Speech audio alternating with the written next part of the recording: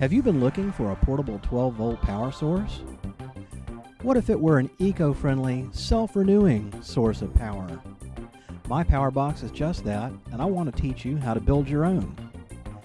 Basically, it's just a plastic tackle box with cigarette jacks wired up to a battery that is charged by a solar panel or household electricity. It's just great for powering your cell phone or laptop computer on an extended outing or in an emergency situation where you're away from power for an extended period of time. It's also quite useful out on the boat for powering your marine electronics. And the tackle box has a rubber O-ring which makes it water resistant. If you are an amateur ham radio operator, you'll really appreciate the power box for field day or emergency operations and powering your ham station. Parts you will need to gather include the plastic tackle box, solar panel, cigarette jacks, some red colored and some black colored stranded 12 gauge copper wire, 12 gauge automotive style fuse holders, and several 20 amp ATC type fuses. In addition, you'll need some wire connectors and the 12 volt sealed gel cell battery along with a rubber grommet. I personally chose the largest battery I could find and fit in the tackle box comfortably and still have the lid closed. It happens to be an 18 amp hour. Do not use a car battery, lawnmower, or motorcycle battery for this project. A car battery contains sulfuric acid, which will be sloshing around and could possibly leak out. In addition, car batteries hate being jarred, bumped, and dropped. You'll also need some scraps of styrofoam sheeting to nestle the battery and hold everything in place. If you want to be able to charge your power box with household electricity, you will also need a trickle charger rated for 12 volts DC at 500 milliamps and 110 volt flush mount or chassis style receptacle that will flush mount in the tackle box. In addition, you will need a 110 volt female jack similar to what goes on the end of a regular electrical extension cord. To do the job properly, you will be using a soldering iron or a soldering gun and a hot glue gun, a hand drill or drill press, and basic hand tools. We will be drilling some fairly large holes in the thin plastic tackle box, so you will need to purchase or borrow a stepper bit and a hole saw to make a clean, precise hole. Okay, so let's get started. Assuming you want to be able to charge up your power box with household electricity and not just solar, we're going to make up a plug and a jack pigtail. Next, using a 1 and 3 quarter inch hole saw, we're going to carefully drill a hole in the side of the tackle box. Now we'll mount the receptacle using screws and nuts to hold it captive. We'll plug in our trickle charger. And lastly, we'll take our hot glue gun and glue the trickle charger to the floor and side wall of the tackle box. Next, measure out and plan where you would like for the cigarette jacks to be located. The lid can be removed from the tackle box and this will make it easier for drilling and mounting. Using the stepper drill bit, drill the holes for the cigarette jacks and mount the jacks. There are a variety of jacks available. There are even USB power jacks. One of the jacks in my project that you may not recognize is used in commercial television. It's a 4-pin power plug and it's a conventional plug that powers up all of our TV cameras and monitors.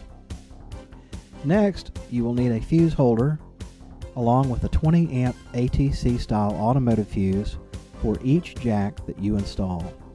Every jack gets its own fuse, okay?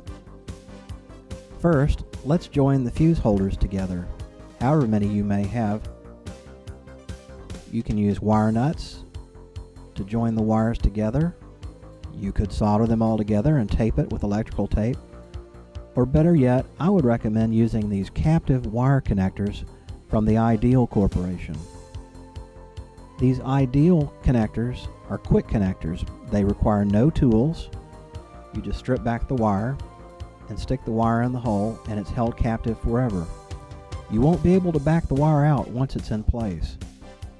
It's really a tidy way to join your wiring together and once you have everything connected, these easily accept hot glue from your hot glue gun, which enables you to really make the installation a tidy one.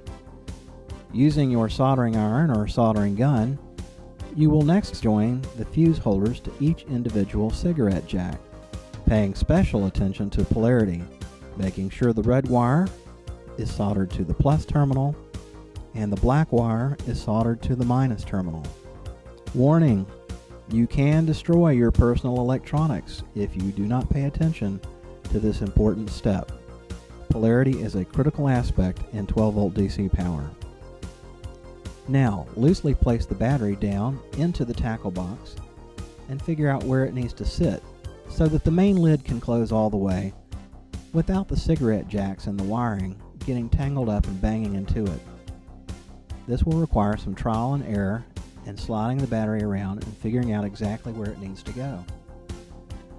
Once you are convinced that the tackle box main lid will open and close smoothly without the wiring getting pinched and banged around, it's time to take a saw or a kitchen knife and cut up some styrofoam sheeting. Using your hot glue gun, form a cradle or a nest to pack the battery in place so that it cannot move around once it's placed inside the tackle box.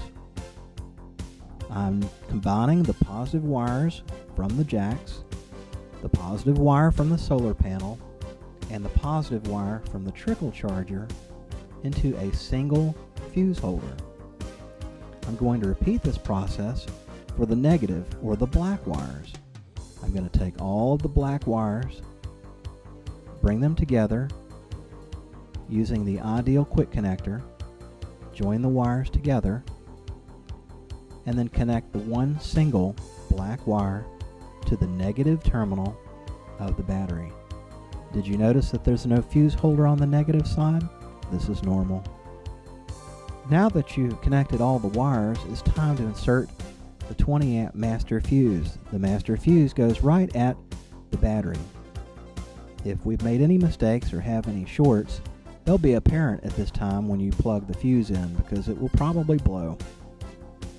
Now that you've installed the main fuse on the positive terminal of the battery, your project is really complete. The unit is hot. As you may have noticed, there is no on-off switch. Once you put that fuse in, all of the cigarette jacks are live. They're hot. It's ready to go.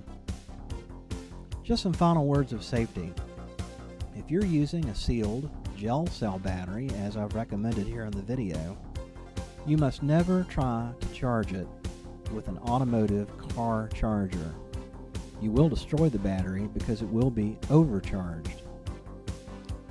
You see, the gel cell wants to see no more than 13 and a half volts. It says so right here on the side of the battery. And the problem is, is that automotive chargers push out considerably more energy. Also, gel cell batteries are different than car batteries because they do not want to be quick charged or what some would call fast charging. This is a sure way to damage a gel cell battery. Don't try it. Gel cells are happiest when they are slow charged or trickle charged. Thanks for watching, and I hope that you have success in building your own power box and get as much enjoyment out of it as I do mine.